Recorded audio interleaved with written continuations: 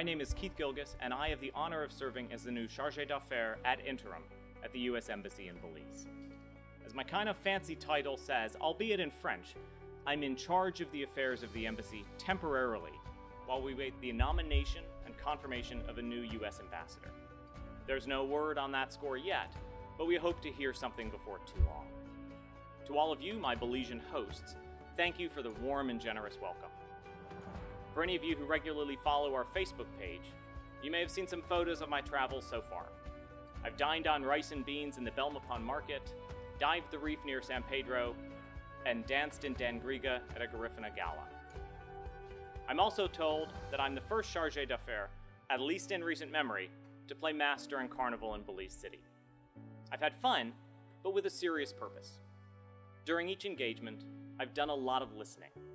Each conversation has given me important insights into the various opportunities and challenges that face communities throughout Belize.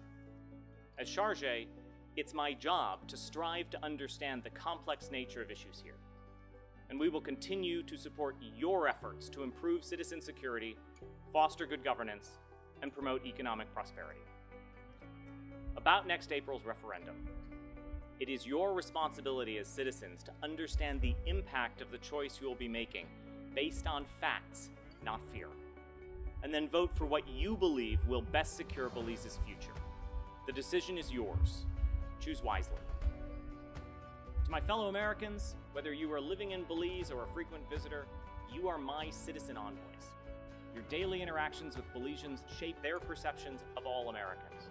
So please tread lightly on the environment respect local laws, and savor every minute you're here. I look forward to continuing my travels and engaging with the diverse peoples, communities, and cultures that exist in this remarkable jewel of a country. So if you see me out and about, please come on over and say hi.